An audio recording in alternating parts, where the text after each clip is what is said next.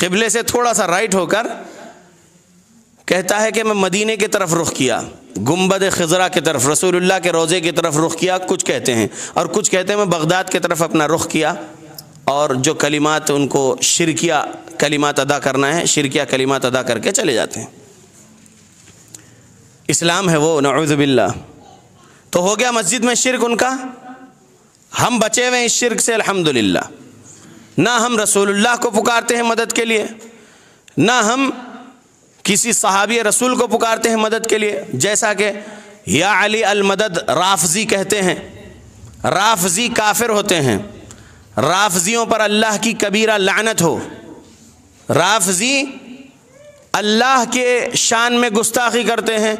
राफजी रसूलुल्लाह की शान में गुस्ताखी करते हैं, राफजी सहाबा की शान में गुस्ताखी करते हैं, राफजी अहल सुन्नत वल जमाअत के इमाम मुहद्दिस की शान में गुस्ताखी करते हैं और अहल सुन्ना वल जमाआ के मुसलमानों को कुत्ते और सुअर से बदतर बोलते हैं राफजी। उनकी किताबों में हैं।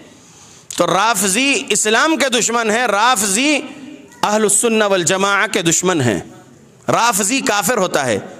राफजियों का कलिमा है।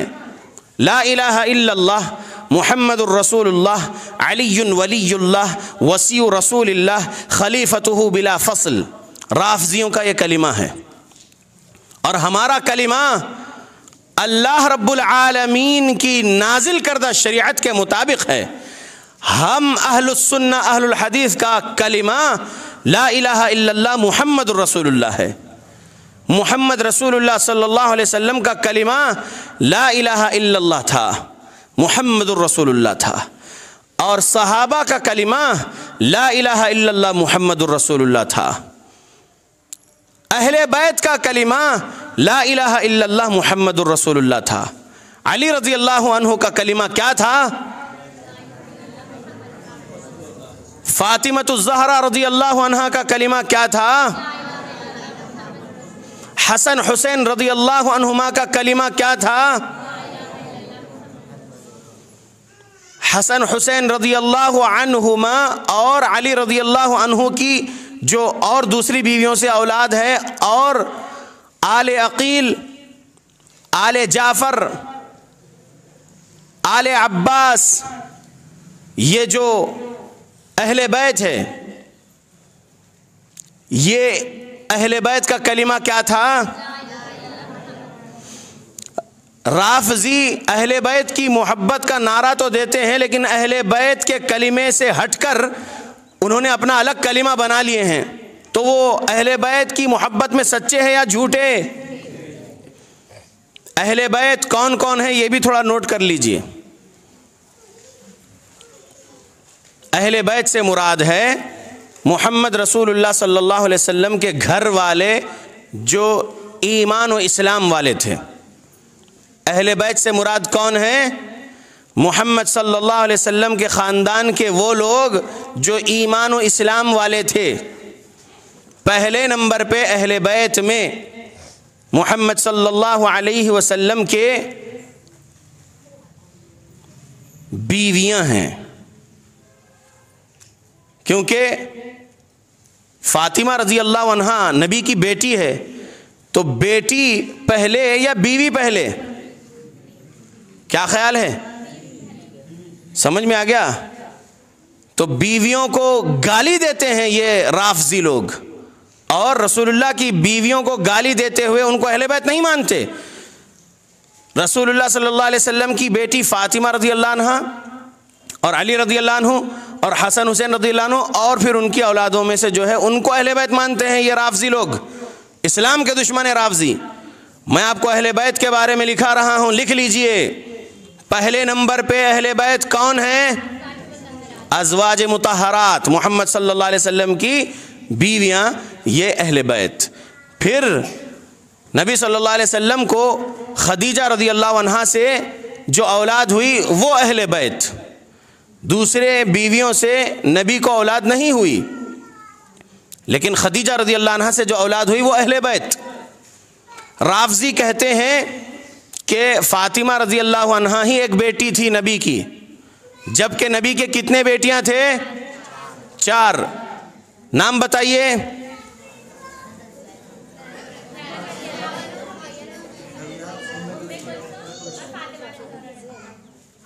रुकैया रज़ी अल्लाह अनहा, जैनब रज़ी अल्लाह अनहा, उम कुलसूम रज़ी अल्लाह अनहा, फातिमा रज़ी अल्लाह अनहा, चार बेटियाँ और तीन बेटे तीन बेटे मासूम थे फूल जैसे तभी इंतकाल कर गए। चारों बेटियों के निकाह हुए थे। तीन बेटे अब्दुल्ला कासिम इब्राहिम, तीनों भी इंतकाल कर गए थे। इब्राहिम किससे पैदा हुए थे? मारिया किबतिया रज़ी अल्लाह से इब्राहिम पैदा हुए थे। क्या बात है? लड़कियों की तरफ़ से जवाब आता है, माशाल्लाह। आप लोग भी इल्म के तरफ़ जो है, आगे आगे रहिए। तो अलैहि वसल्लम की औलाद अहल बैत हुए। अब्बास बिन अब्दुलमतलब अब्बास रदी अल्लाह रसूलुल्लाह के चचा इस्लाम कबूल किए थे। उनकी औलाद भी अहले बैत। तो आले अब्बास अहले बैत में हैं। अबू तालिब इस्लाम कबूल नहीं करे। अबू तालिब के तीन बेटे इस्लाम कबूल करे। अकील इस्लाम कबूल करे। तो आले अकील अहले बैत हुए।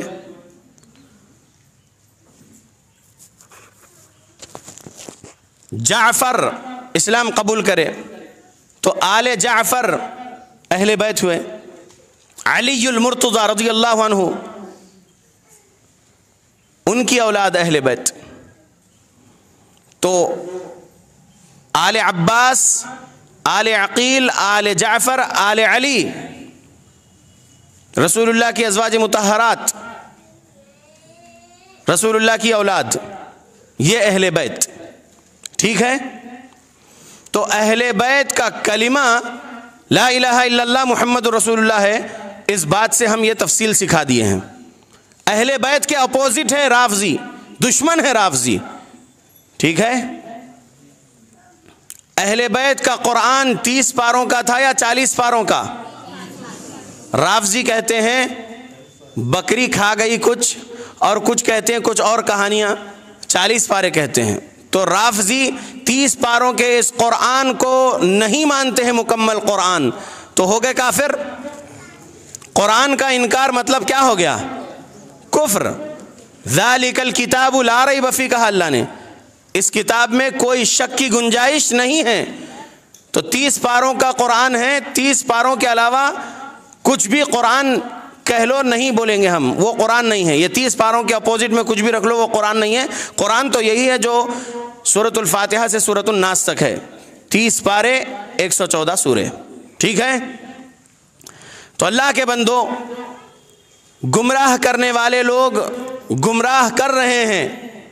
मुतज़िला जहमिया, रवाफिज, खवारिज, ये गुमराह फ़िरक़े, मुरजिया, ये गुमराह फ़िरक़ा। ये गुमराह फ़िरक़ों के अपोजिट में अहलुसन्ना अहलुल हदीस, यही हक़ वाला गिरोह है। और इस हक़ वाले गिरोह में जो लोग नाम नहाद तोहद वाले रहेंगे, गुनाह में ज़िंदगी गुजारेंगे, वो अपना जायज़ा ले ले, अपना हिसाब कर ले। हासिब कबल अन तो हासिब अपना हिसाब कर लो, आपका हिसाब लिए जाने से पहले।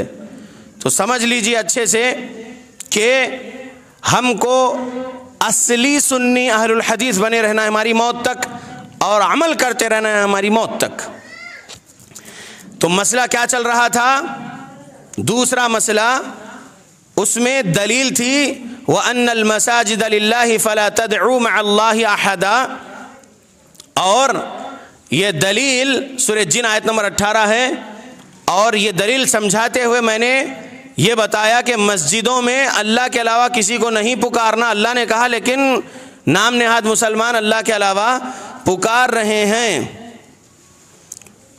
थोड़ा सा बहने, आगे आइए। ये पहली सफ छोड़ दिए, तीसरी सफ से आप दूसरी सफ में आके बैठ जाइए, क्योंकि ख़वातीन और आ रही हैं तो पीछे जगह दे दीजिए। दूसरे मसले की दलील सुर जिन आयत नंबर 18 उसमें यह सबक है कि अल्लाह के घरों में, यानी मस्जिदों में, मस्जिदें किसके हैं? अल्लाह के लिए हैं मस्जिदें। तो मस्जिदों में अल्लाह के अलावा किसी और को ना पुकारो। मस्जिदों के बाहर भी अल्लाह के अलावा किसी को नहीं पुकारना है मदद के लिए। लेकिन मस्जिदों में भी लोग शिरक कर रहे अल्लाह के अलावा मोहम्मद सल्लल्लाहु अलैहि वसल्लम को मदद के लिए पुकार रहे और मोहम्मद सल्लल्लाहु अलैहि वसल्लम की उम्मत में अलिया अल्लाह को भी मदद के लिए पुकार रहे हैं। ये बात समझाते हुए हम आपको थोड़े रवाफिस के बारे में भी बता दिए कि उनके क्या गुमराह अकायद हैं। हमको गुमराही के अपोजिट में हक समझना है, हक पर अमल करना है, हक सिखाना है। देखिए, थोड़ा रिलैक्स और खुला खुला बैठिए। सफ में बैठिए, सफ में। आगे पीछे ना बैठिए। सफ सीधी कर लीजिए मेहरबानी। सफ सीधी करेंगे और चिपक चिपक के ना बैठिए, लग लग के ना बैठिए, थोड़ा थोड़ा रिलैक्स बैठिए। क्योंकि आधे घंटे, एक घंटे का दर्श नहीं है ये। ये दौरा इल्मिया है ये। ये किताब हमको हासिल करना है ये। एक फ़ैन डाल दीजिए वहाँ, वो एक फ़ैन डाल दीजिए ताकि जो है आसानी रहे। जिसमें आवाज़ हो, वो फ़ैन ना डालिए, आगे का फ़ैन डालिए। तो दूसरा मसला समझ में आ गया? हमको किसको पुकारना है मदद के लिए? अल्लाह को। अल्लाह के अलावा किसी और को नहीं पुकारना है। आगे और भी बहुत सारी बातें आने वाली हैं। मैं अब आगे बढ़ रहा हूँ। तीसरा मसला। असालिसा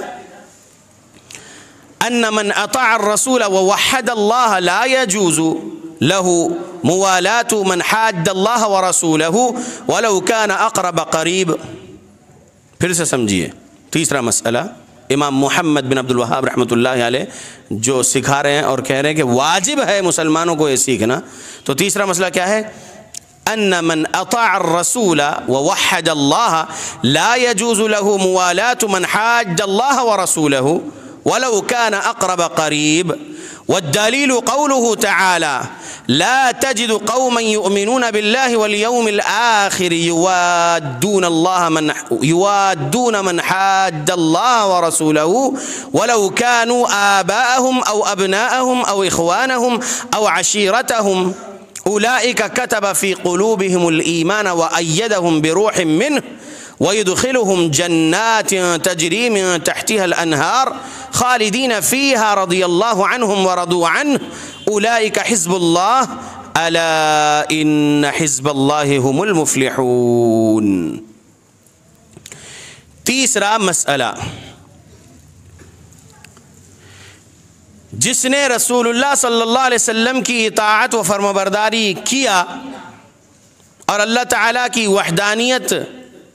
को भी तस्लीम किया, उसके लिए ये हरगिज़ जायज़ नहीं कि वो ऐसे लोगों से दोस्ती और रिश्ते रखे जो अल्लाह ताला और उसके रसूल सल्लल्लाहु अलैहि वसल्लम के साथ दुश्मनी रखते हों।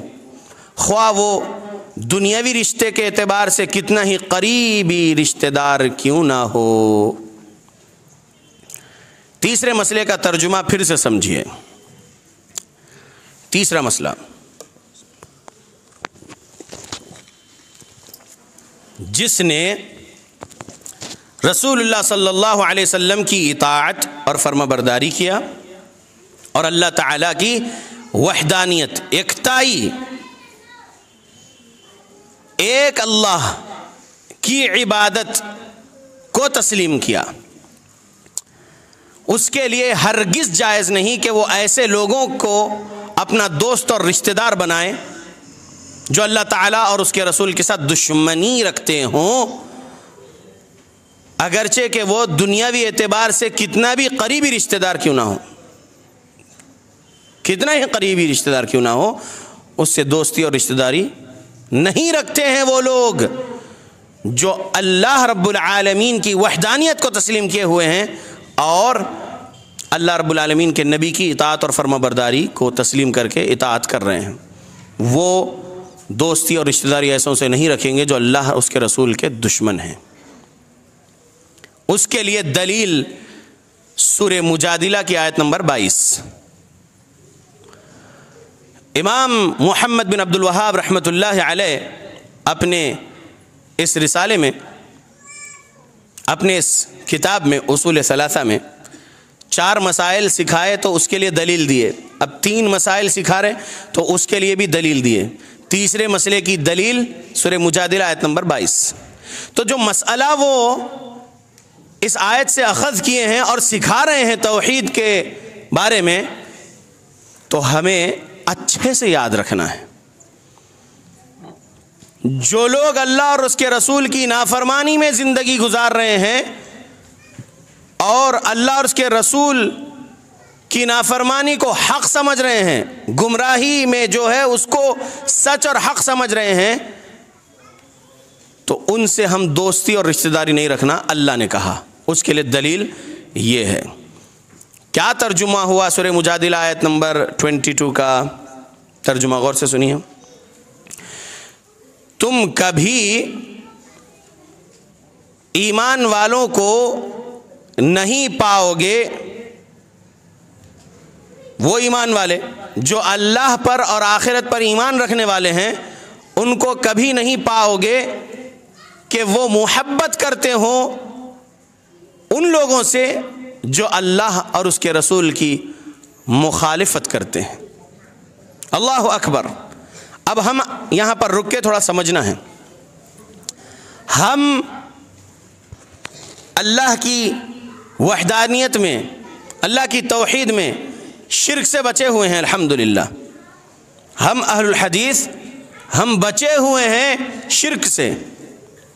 और हम बचे हुए तकलीद के अंधेरों से, और हम इतात करते हैं मोहम्मद सल्लल्लाहु अलैहि वसल्लम की। तो हम अपने आप पर गौर फ़िक्र करना है कि हम दोस्ती और रिश्तेदारी रखे हुए हैं क्या ऐसों से जो अल्लाह और उसके रसूल की मुखालफत कर रहे हैं, खुल्लम खुल्ला मुखालफत कर रहे हैं। हम गौर फ़िक्र करना है। क्योंकि अल्लाह रब्बुल आलमीन ने कहा है, अल्लाह और उसके आखिरत के दिन पर ईमान रखने वालों को आप कभी नहीं पाओगे। मोहब्बत करते हुए उन लोगों से, दोस्ती और रिश्तेदारी रखते हुए उन लोगों से जो अल्लाह उसके रसूल के मुखालफत करने वाले हैं, खुली मुखालफत करने वाले हैं। आगे सुनिए। अब कैसे लोगों से मोहब्बत? तो अब यहाँ पर आगे आयत में बात है। ख्वा वो उनके बाप हों, या उनके बेटे, या उनके भाई, या उनके अहल ख़ानदान। अल्लाह अकबर। वालिद, भाई, बेटे, अहल ख़ानदान। अगर वालिद भी अल्लाह और उसके रसूल की मुखालिफत कर रहे हैं तो मोहब्बत नहीं करना है उस काम से। अल्लाह अकबर। ये अल्लाह सिखा रहे हैं। ये इमाम मोहम्मद बिन अब्दुल वहाब रहमतुल्लाह अलैह ने जो बताए तो अल्लाह की आयत से बताए हैं। अल्लाह के बंदो, अगर वालिद काफिर हैं और लड़का कुफ्र से तौबा करके मुसलमान हुआ है, तब भी उसके लिए एक सबक दिया गया है कि वालिद के साथ हुसन सलूक करो। वालदा भी अगर काफिर है तो उसके साथ हुसन सलूक करो, उसकी खिदमत करो, उसकी इतात मत करो, क्योंकि वो कुफ्र में ज़िंदगी गुजार रहा है। लातात मखलूक फ़ी मासीत ना इतात करो मखलूक की, खालिक की नाफरमानी वाले कामों में। खालिक की नाफरमानी वाले कामों में मखलूक की इतात नहीं करना है। तो अगर वालदेन कुफ्र शिरक वाले हैं तो उनका अदब एहतराम करते हुए वालदेन है बोलकर उनकी खिदमत करो, लेकिन उनकी इतात मत करो। यहाँ पर उलमा समझाते हैं कि बेटे, बेटियाँ अगर गुमराह हो गए हैं और आप वालिद, वालदा, तोहद सुन्नत पर हैं, बेटे, बेटियाँ बुरी सोहबत में रह के गुमराह हो गए हैं तो उनसे मोहब्बत मत करो। उनसे मोहब्बत मत करो, क्योंकि वो गुमराह हैं। उनको समझाने की हम कोशिश कर सकते हैं, सिखाने की कोशिश कर सकते हैं, तोहद और सुन्नत। समझ में आ रहा? अगर कोई मुस्लिम लड़की गलत सोहबत में रहकर किसी काफिर के साथ भाग गई, उसके साथ शादी कर ली तो उसके साथ अब कैसा रिश्ता रखे माँ बाप कोई मुस्लिम लड़का किसी काफिरा से शादी के लिए भाग गया, इस्लाम से निकल गया, उससे कैसे रिश्ता रख सकते हैं? वो खुली मुखालिफत कर गया, उससे कोई रिश्ता नहीं, उससे कोई मोहब्बत नहीं। अगर आपके दिल में तड़प है कि मेरी औलाद जहन्नम में जा रही है तो फिर आप पहले बहुत ज़्यादा तौबा इस्तफ़ार करना है। क्योंकि उसको, उस कुफ्र के तरफ़ पहुँचाने वाले आप हैं। आपने उसकी सही तरबियत नहीं किए थे। उसको पहले से अल्लाह की मारफत, रसूलुल्लाह की मारफत, दीन इस्लाम की मारफत नहीं करवाए थे। इसलिए वो कुफ्र की तरफ़ भाग गया या भाग गई? ऐसा हो रहा है आज मुआशरे में या नहीं हो रहा है? अल्लाह बचाए, ये सब कबीरा गुनाहों से। आमीन। तो अल्लाह और उसके रसूल की मुखालिफत करते हुए वालदेन को देखो, या बेटा बेटी को देखो भाई बहन को देखो, या अहल ख़ानदान को देखो, उनसे मोहब्बत नहीं करना है। तड़प रखो उनके बारे में कि वो जहन्नम में जाने वाले काम में मसरूफ़ हैं हम उन तक तोहद सुन्नत सिखाना है, तोहद सुन्नत समझाना है। हम बहुत ज़्यादा अस्तफ़ार करते रहना है। अस्तफ़िर व अल्लाह से बोलते रहना है और फिर अल्लाह से मदद मांगना है, उनको समझाने, सिखाने, वापस उनको इस्लाम के तरफ़ आमाल साल के तरफ़ लाने के लिए, गुनाहों से बचाने के लिए कोशिश करना है। मोहम्मद सल्लल्लाहु अलैहि वसल्लम अबू तालिब के साथ जो मामला करे अबू तालिब की मौत के वक्त भी नबी सल्लल्लाहु अलैहि वसल्लम ने उनको तलकीन की, हक़ कबूल करने की। बोले, या अम्म फ़ी उज़ुनी अशहदुल्का इंदल्लाह। ऐसे ही मफहूम की बात है, हदीस में है ये, कि अ मेरे नबी, मेरे अ मेरे चचा, मेरे कान में आप ला इलाहा इल्लल्लाह कह दीजिए, मैं अल्लाह के पास आपके लिए गवाही दूँगा। तो वहाँ पर कुफ़ार के सरदार जो मक्का के थे, वो बैठे हुए थे अबू तालिब के पास। ये मौत का वक्त है अबू तालिब का। सकरात के आलम में है अबू तालिब। वो टाइम पर वो कुफ़ार वसवसा डाल रहे हैं और उनको रोक रहे हैं। कह रहे हैं कि अबू तालिब, मौत के वक्त अपने भतीजे के दीन को कबूल कर लोगे? अपने बाप के दीन को छोड़ दोगे? अबू तालिब ने कहा अमू तो अला दीनी अभी मरता हूँ मैं अपने बाप के दीन पर और मर गए। जहन्नम में गए अबू तालिब। सही मुस्लिम हदीस नंबर 212 सुन लीजिए। प्यारे रसूल मोहम्मद सल्लल्लाहु अलैहि वसल्लम ने फरमाया, बल्कि इस तरीके से है कि नबी वसल्लम ने, नबी वसल्लम के चचा अब्बास रज़ी अल्लाह ने पूछे नबी सल्लल्लाहु अलैहि वसल्लम से कि, अबू तालिब के तुम कितना काम आए? क्योंकि अबू तालिब ने तुम्हारी बहुत सारी मदद किए हैं। तो नबी सल्लल्लाहु अलैहि वसल्लम ने जवाब में कहा कि, अबू तालिब को जहन्नमियों में सबसे हल्का आदाब दिया जाएगा, वो ये है कि आग की दो जूतियाँ पहनाई जाएगी, जिसके वजह से उनके खोपड़ी में भेजा ऐसे पकेगा गोया के चूल्हे पर हांडी में कुछ पकता हो। अल्लाह अकबर। अल्लाह बचाए हम सबको जहन्नम की आग से। अल्लाह के बंदो, ये सबसे हल्का अदाब कि आग की दो जूतियाँ पहनाई गई तो खोपड़ी में भेजा ऐसे पक रहा है खत खत जैसे कि चूल्हे पर हांडी में कुछ पकता हो, ये सबसे हल्का अदाब सिर्फ़ अबू तालिब को। क्यों? क्योंकि नबी सल्लल्लाहु अलैहि वसल्लम की परवरिश की उन्होंने। नबी सल्लल्लाहु अलैहि वसल्लम की परवरिश की आठ साल के थे नबी सल्लल्लाहु अलैहि वसल्लम, जब से अबू तालिब की किफ़ालत में आ गए और फिर आप सल्लल्लाहु अलैहि वसल्लम चालीस साल के हुए तो नबूत और रिसालत का ताज अल्लाह ने दिया मोहम्मद वसल्लम को। तो फिर नबी और रसूल बनाए जाने के बाद नबी वसल्लम जब दावत तबलीग करने लगे इस्लाम की तो कुफ़ार क़ुरैश, मक्के के कुफ़ार मुशरकिन बहुत तकलीफ़ देने लगे मोहम्मद सल्लल्लाहु को और उनके असहाब को। तो अबू तालिब ने ढाल बनकर खड़े हो गए, नबी सल्लल्लाहु अलैहि वसल्लम को बचाते रहे उन कुफ़ार से। बहुत मदद करे मोहम्मद सल्लल्लाहु अलैहि वसल्लम की, लेकिन इस्लाम कबूल नहीं करे। दिल से नबी तस्लीम कर चुके अपने भतीजे को अबू तालिब, लेकिन ज़ुबान से इकरार नहीं करे। जान गए थे अबू तालिब कि जो फरिश्ता मोहम्मद के पास आकर वही देकर जा रहा है, ये जो बात सुन रहा हूँ मैं, ऐसा ही एक फ़रिश्ता मूसा के पास आया करता था। ये अबू तालिब जान गए थे, बोले थे अबू तालिब, लेकिन ईमान क्या है? ज़ुबान से इकरार। इकरार मिलसान व तस्दीक बिलकल्ब व अमल बिलजवारह ईमान क्या है? ज़ुबान से इकरार करना, दिल से तस्दीक करना और जिस्म के अज़ा से उस पर अमल करना यही ईमान है मुकम्मल। समझ में आ रहा? अबू तालिब दिल से माने थे नबी को, लेकिन इकरार नहीं करे।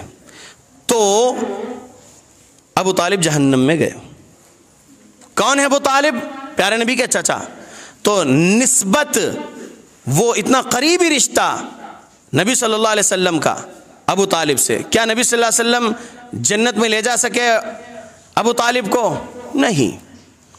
तो रिश्तेदारी से जन्नत नहीं मिलने वाली है कि हम सैयद के घराने के हैं और हमको जन्नत मिलने वाली है। इस तरीके से सूफीज़म वाले बोलते हैं।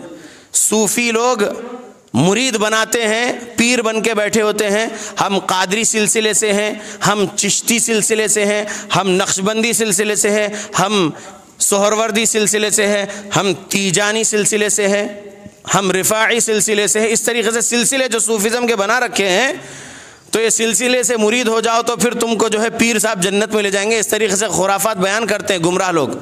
ये गुमराह ही है ये। नबी अपने चचा को नहीं बचा सके जहन्नम से। तो ये सूफ़ी लोग क्या बचा पाएँगे मुरीदों को? सूफ़ी खुद शिर कुफ्र के वजह से जहन्नम में जाने वाले हैं। तो वो क्या उनके मुरीदों को जन्नत में ले जा सकेंगे? नौजुबिल्ला समझ में आ रहा? तो हम मोहब्बत नहीं करना उन रिश्तेदारों से जो अल्लाह और उसके रसूल की खुली मुखालफत कर रहे हैं। दिल में उनके बारे में तड़प रखो कि वो ये जुर्म कर रहे हैं, बड़ा जुर्म कर रहे हैं। ये बात दिल में रखो अल्लाह के बंदो। तो तीसरे मसले की दलील के तौर पर यहाँ पर जो आयत है सुर मुजादिला के आयत नंबर 22 तो इसमें आगे तर्जुमा और समझिए। ये वो लोग हैं जिनके दिलों में अल्लाह ने ईमान सब्त कर दिया है और उनके दिलों को अपने फैज़ से क़वत बख्शी है। वो उनको ऐसी जन्नतों में दाखिल करेगा जिनके नीचे नहरें बहती होंगी। उनमें वो हमेशा रहेंगे। अल्लाह उनसे राज़ी हुआ और वो अल्लाह से राज़ी हुए। वो अल्लाह की जमात के लोग हैं, ख़बरदार रहो। अल्लाह की जमात वाले ही फ़लाह पाने वाले हैं। ये तर्जुमा जितना मैं आपको सुनाया, ये सहाबा रज़ी अल्लाह अहल बैत रज़ी अल्लाह के बारे में है। अल्लाह ने कहा कि हमने उनके दिलों में ईमान को लिख दिया। कातबा फ़ी क़ुलूबिहिमुल ईमान किसके दिलों में अल्लाह ने ईमान को लिख दिया? सहाबा, अहले बैत और सहाबा रदी अल्लाह के दिलों में ईमान को लिख दिया अल्लाह ने। क्योंकि जब कभी वो रसूलुल्लाह सल्लल्लाहु अलैहि वसल्लम से जो कुछ भी सीखते, सुनते फ़ौरन उसको अपने अकीद और अमल में रखते थे। और मोहब्बत नहीं करते थे शिरक करने वालों से, मोहब्बत नहीं करते थे कुफर करने वालों से, चाहे उनके वालदेन या उनके करीबी रिश्तेदार क्यों ना हो। समझ में आ रहा? तो वो सहाबा के मुताबिक हमको बनना है। हमको सहाबा के मुताबिक ईमान लाना है, अमाल सालहा करना है। तो याद रखो, अल्लाह ने उनकी मदद किया तो अल्लाह हमारी भी मदद करेगा। हमको भी अल्लाह रब्बुल आलमीन साबित कदम रखेगा। अगर हम सच्चे पक्के ईमान वाले बनेंगे और आमाल साल वाले बने रहेंगे इखलास की नीयत के साथ। अल्लाह के बंदो, जैसे सहाबा के लिए अल्लाह ने कहा कि जन्नत में अल्लाह उनको दाखिल करेगा और वो जन्नत जो जिनके नीचे नहरें बह रही हों, दूध और शहद की नहरें, और खालिदीन फ़ीहा, वो उसमें हमेशा रहेंगे। रदी अल्लाह अनहम व रदु अन, अल्लाह उनसे राज़ी हो गया, वो अल्लाह से राज़ी। अल्लाह हमसे भी राज़ी हो जाए, आमीन। हम अल्लाह से राज़ी है ना? हम सब अल्लाह से राज़ी है ना? अल्लाह हमसे राज़ी हो जाए, आमीन।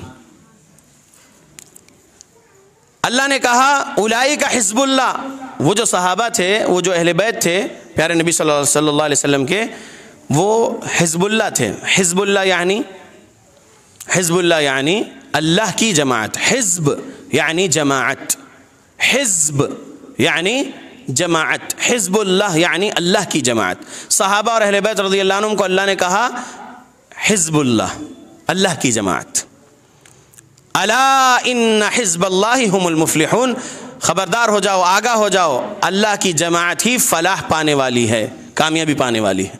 तो हमको अल्लाह की जमात वाला बनना है या नहीं?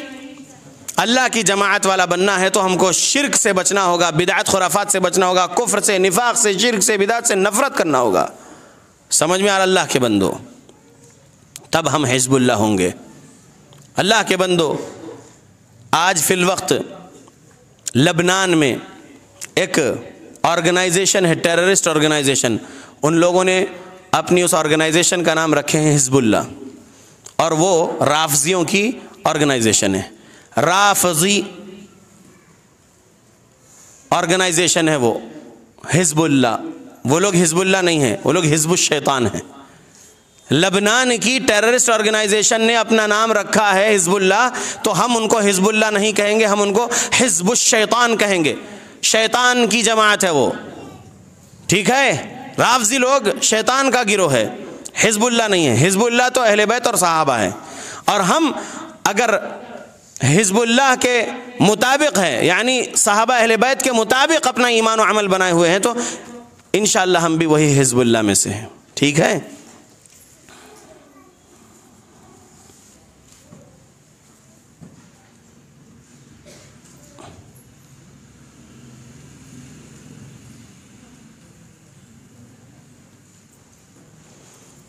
अभी जोहर की अजान के लिए पाँच मिनट बचे हैं। तो आप लोग ये एक ऐलान सुन लीजिए। साढ़े बारह बजे भी जहर की अजान होगी, बारह पैंतालीस को जहर की जमात होगी। नमाज़ के फ़ौर बाद सुन्नत से फारिग होते ही, नवाफिल से फारिग होते ही दर्स शुरू होगा। दर्स पैंतालीस मिनट रहेगा, उसके बाद लंच का इंतज़ाम है आप सबके लिए इन लंच के बाद फिर दर्ज शुरू होगा। फिर साढ़े तीन बजे असर की अदान होगी और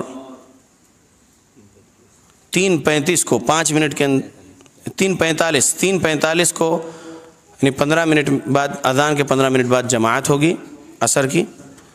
असर की नमाज़ के बाद फिर दर्स होगा तो साढ़े पाँच बजे तक दर्स चलता रहेगा, क्योंकि मगरिब की जमात पाँच इक्यावन को है तो साढ़े पाँच बजे दर्स रोका जाएगा, और फिर वज़ू वगैरह से फ़ारग होकर फिर जो है मगरिब पढ़ लेंगे।